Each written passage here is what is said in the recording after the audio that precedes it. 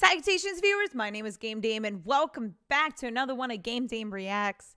So this one I saw was just released today, which I'm actually today being uh 5 12 2020 as the day I'm recording it on.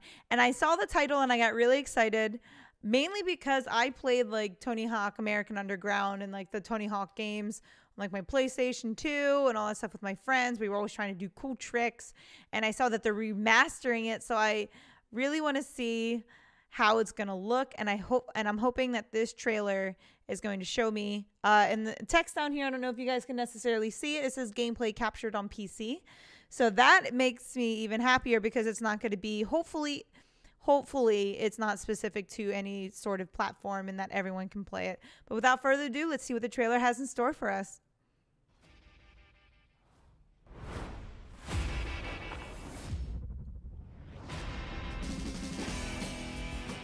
Oh wow. Okay.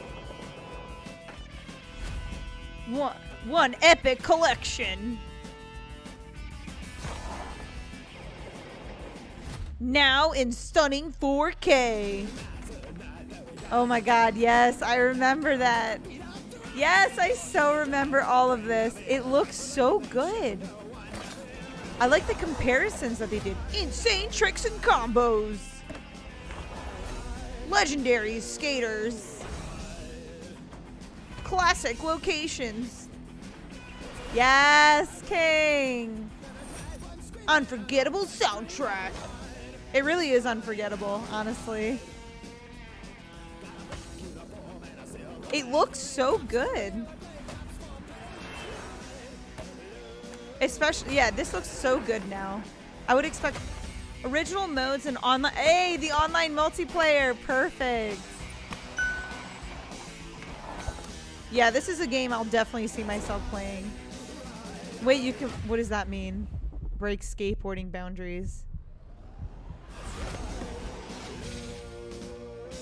Tony Hawk's Pro Skater 1 and 2. Ooh. September 4th, 2020. So if you pre-order it digitally and get access, you get access to the warehouse demo, which seems uh, I might do that honestly. I've when I growing up, the, this was one of my go-to games: Tony Hawk Pro Skater One and Two, along with Tony Hawk American Wastelands. Uh, just because I used to skateboard a lot when I was younger, and I always wanted to be in with the crowd, so I would always play these games just so I could understand what type of tricks there were. And I it's going to be released what on PS4, Xbox, and it's going to be in the Epic Game Store.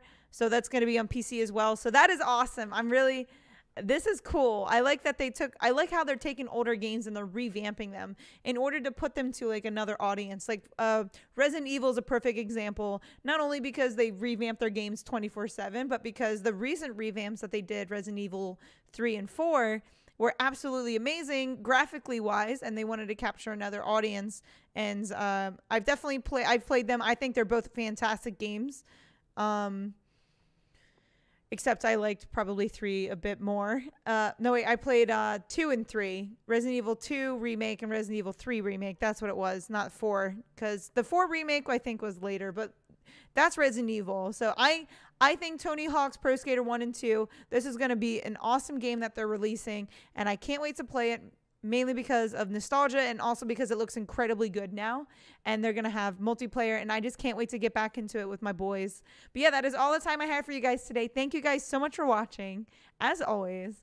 And if you haven't done so already, please subscribe and or follow my Twitch or YouTube channel and or my YouTube channel at twitch.tv slash the game dame. And you already know where my YouTube channel is. Have a lovely rest of the day, and I'll see you guys in the next episode. Bye bye.